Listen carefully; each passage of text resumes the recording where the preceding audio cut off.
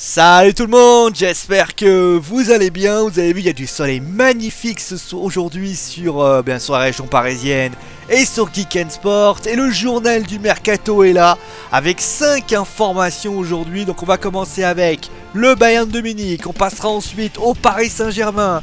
On ira voir ensuite la Juventus de Turin pour aller voir ce que fait Alvaro Morata. Et pour terminer avec l'Olympique de Marseille. On passe maintenant, on passe maintenant avec le Bayern de Munich. J'ai fait un accent du sud un peu pourri. Le Bayern de Munich qui pourrait voir l'arrivée d'Adrien Rabiot. Alors vous l'avez vu, Adrien Rabiot, il n'a toujours pas prolongé avec le Paris Saint-Germain. Est-ce qu'il essaie de jouer la montre pour essayer de faire monter les enchères? On sait que par exemple, il y a eu quelque chose par rapport à ça ces dernières années. Mais il se pourrait bien aussi qu'ils veulent quitter le PSG pour aller dans un club un peu plus huppé. Et forcément, eh bien, le club qui pourrait l'intéresser, qui est intéressé par lui, qui d'ailleurs se sont renseignés sur lui, c'est le Bayern de Munich. Alors après, est-ce que Paris est d'accord ou non Ça, je ne sais pas. On ne connaît pas encore les montants des transferts, ni le salaire qui sera proposé.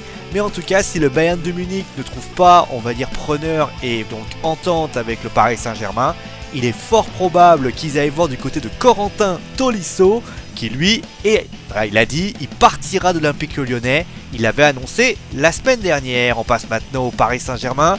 Le PSG, que vous l'avez vu, il y a Anteo Henrique qui est arrivé. Et forcément, peut-être que les affaires vont vraiment commencer. Et la grosse affaire qui arrive, vous le connaissez, il a le Gabonais, il a joué à Saint-Etienne, il a joué à Lille, il a joué à Monaco. C'est bien évidemment Pierre-Emerick Aubameyang. Et oui, le Gabonais qui devrait, a priori, c'est les médias allemands qui l'annoncent, hein, il devrait a priori signer au Paris Saint-Germain, ce n'est qu'une question de temps. Le salaire proposé est de 7 millions d'euros, euh, enfin de 14 millions d'euros par an. Pour la modique somme, quand même, accrochez-vous, de 70 millions d'euros. Et oui, le Borussia Dortmund va récupérer une sacrée plus-value.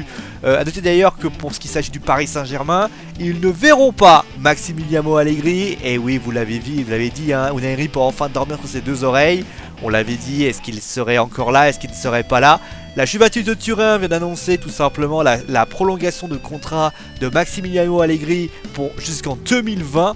le technicien italien qui a fait une très bonne Ligue des Champions, une bonne campagne européenne, euh, devrait eh bien, avoir en fait un salaire progressif, c'est-à-dire qu'on commencerait à 5,5 millions pour l'année prochaine pour grimper à 6,8 millions dans deux ans et ainsi de suite.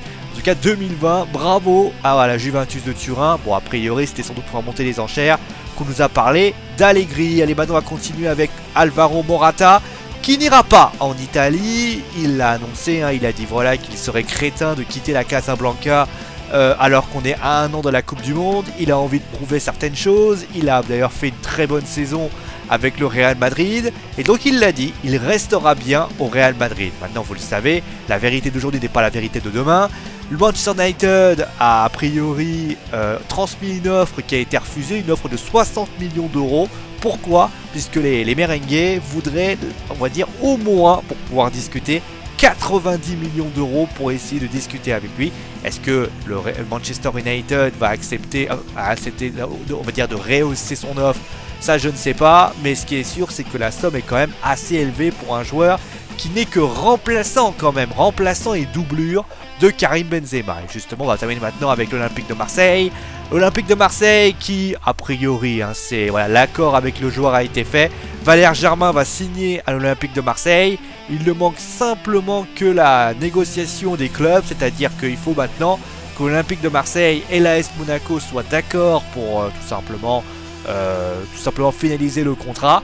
Ça clôturerait la possibilité de voir Bafé Gomis qui revient, Dre, et surtout bah, peut-être aussi la présence de Balotelli, Jovetic ou d'autres joueurs qui pourraient arriver du côté de ce mercato marseillais. Allez, maintenant on va terminer, bah on va terminer maintenant avec la fin, parce que forcément c'est la fin de l'émission. Et oui, il n'y a plus rien. C'est la fin de l'émission en tout cas, j'espère que ça vous a plu.